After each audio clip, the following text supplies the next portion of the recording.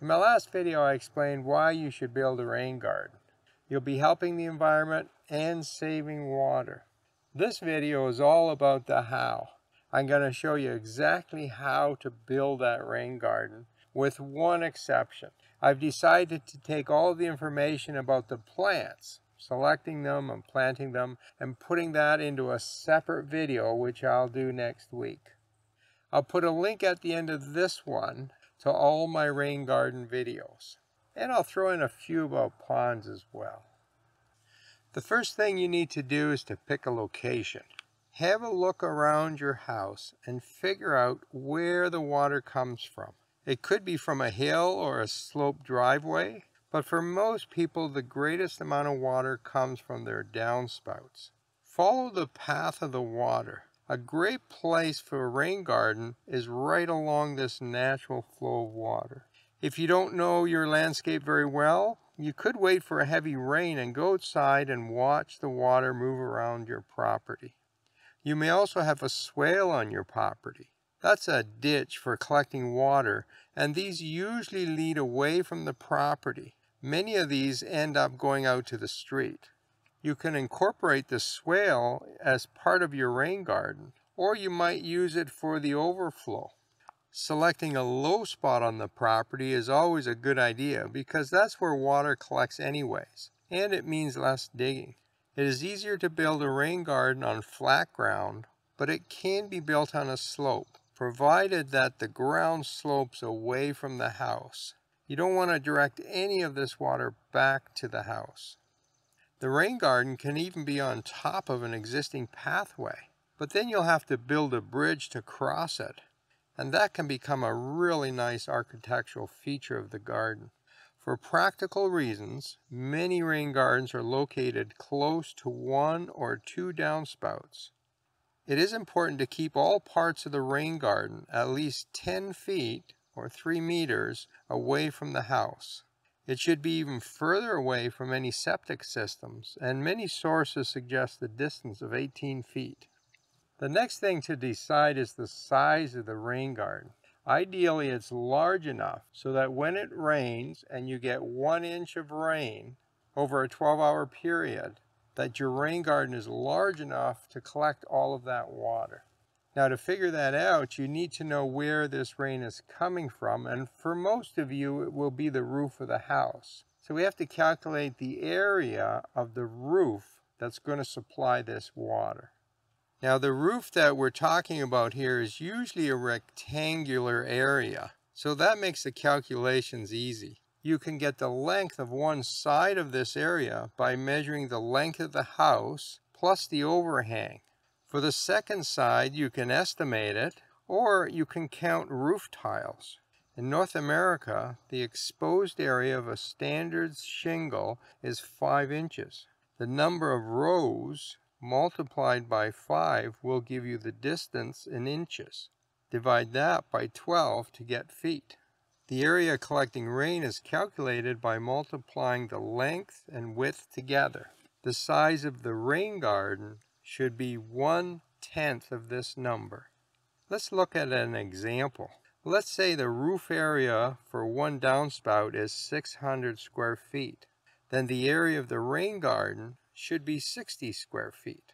Now these numbers are not that exact. For example, the garden may be an oval shape. And in that case, just ignore the corners and assume that it's a square. These numbers are also based on a one inch rain event. You may never get that where you live, or you may get larger events. You can also make the rain garden larger or smaller than the calculated size. That might help you fit it in the space that you have. In any case, we will add an outlet to ensure that any excess water is directed where you want it and we'll talk about that in a few minutes. Even a small rain garden is better than no rain garden. So if you can't make it the size you need, make it smaller, but fit one into your garden. Now what about the depth of the garden? We want to aim for a finished depth in the center of the garden of one foot. Now you're going to slope the sides of the garden so it will be more shallow near the edge and deeper in the center. If you tend to get heavy rain events, like more than one inch, or if you're making it smaller than the calculated size, you can make it deeper, and that will allow it to hold more water. What about the shape of the rain garden? Well, the most convenient shape is an oval. It just works well and is the least amount of work. But that doesn't look very exciting in a garden. What about a teardrop shape? Bigger at one end, smaller at the other. Or maybe for your space, what you really need is a long, skinny one. And maybe it meanders around and even goes around the side of the house. If you like that formal look, make it a square. The shape of the rain garden doesn't matter. Pick a shape that you like and one that fits into the space and landscape that you have.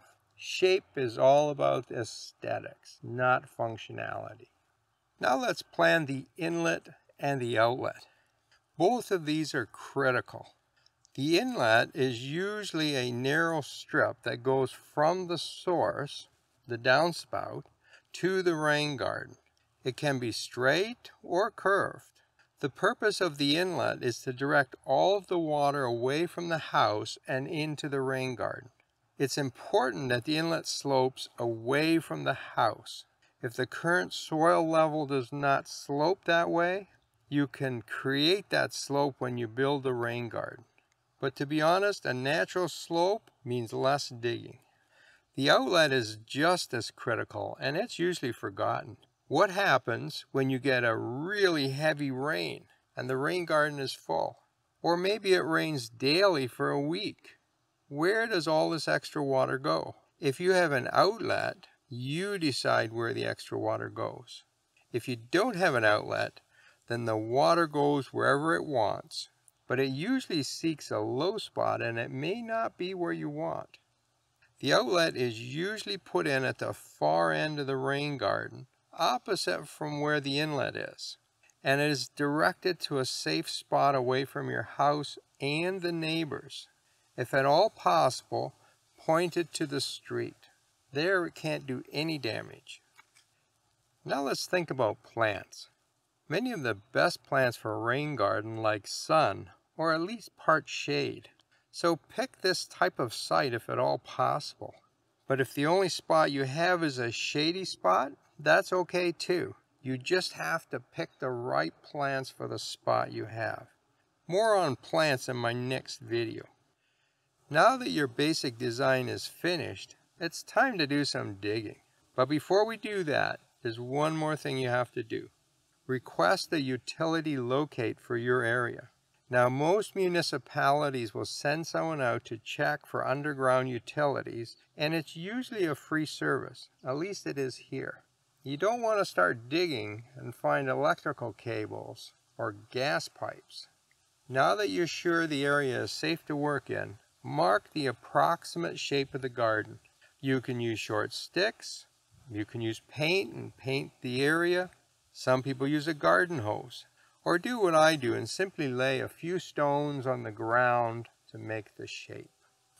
It's time to start digging. First thing to do is to remove the sod.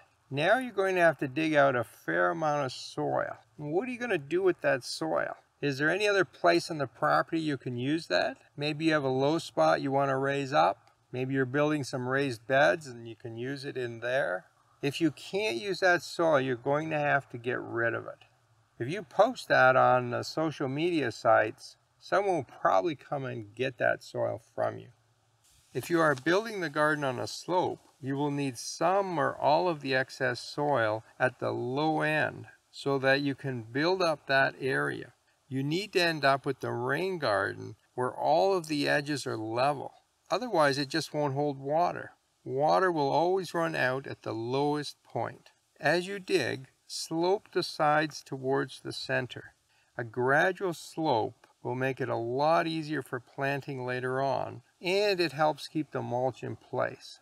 An easy way to do this is to start digging in the middle of the pond. Dig down six inches, and then start moving out from there. And then go back and dig the center deeper and move out from there.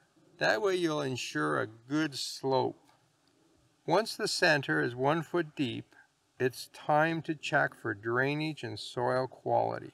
The goal here is to create a garden that dries up in about 48 hours, but it can certainly hold water longer than that. To figure out how well your soil drains, you can do something called a soil perc test, and I have a video to show you how to do that. Using the results from the perc test, you can calculate how quickly your garden will drain. If it drains in 48 hours or less, you don't have to do anything special to the soil in the bottom of the garden. If it doesn't drain in 48 hours, consider digging it a little deeper and replacing the extra soil with soil that has been amended with sand. That will help with drainage. But to be honest, you can just let the water sit longer than 48 hours and skip the extra work. When mosquitoes lay eggs, it takes about a week for them to go through their cycle and hatch out. So you don't want the water sitting there for seven days or longer. What about your soil quality? Remember that we want to plant this area. Is the soil good enough for plants? If it's pure sand, consider amending it with some clay and organic matter. If it is very heavy clay, amend with sand and some organic matter. If it's just poor quality subsoil, just amend with organic matter. In any event, when you are finished adjusting the soil, the depth at the center should be about one foot deep. Now let's build the inlet. I like to create a riverbed between the source of the water and the edge of the rain garden. I generally dig a shallow trough that is about 6 inches deep but one that slopes from the source to the rain garden. I like to line this with plastic and then I cover it with fist-sized rocks. The rocks do two things. They hold down the plastic and they slow down the movement of water. If you don't like the aesthetic look of this, you can also use a pipe and bury it in the ground and you won't see the inlet. Before going further, test the inlet pour some water into it. Make sure everything is flowing well and that it empties out completely into the rain garden. That way you know you've got the slope right. All right, the inlet's done. Now it's time to make an outlet. Look around the perimeter of your rain garden and decide where you want excess to flow out. That's where you put the outlet. It can be built exactly like the inlet. Just make it look like a little riverbed with rocks. You can also create simpler outlets. You can just take the low part of your rain garden, put a few rocks there to make sure that the rain won't wash the soil away, and just let the excess water run onto your lawn, or maybe into a garden. You can also have that outlet go into a swale, and that automatically will take the water away from your property. The important thing with an outlet is that the water goes in the right direction and goes away from your house and the neighbor so nothing gets damaged. In most cases, the plastic layer is not needed on the outlet side because it's not as critical to keep water from seeping into the soil. Now, except for the plants and some aesthetic features, your rain garden is finished. So I'll deal with the plants in my next video, and when it's done, I'll add it to the link in the right-hand corner to all the rain garden videos. What about aesthetic features? Let's make this garden a little more interesting. I like to add large rocks in the center, along the edge. How about a little bridge, some artwork, a bird feeder? If you're interested in natural ponds, which are great to add to your rain garden, have a look at my book, Building Natural Ponds, or join our Facebook group, Building Natural Ponds. See you in the next video.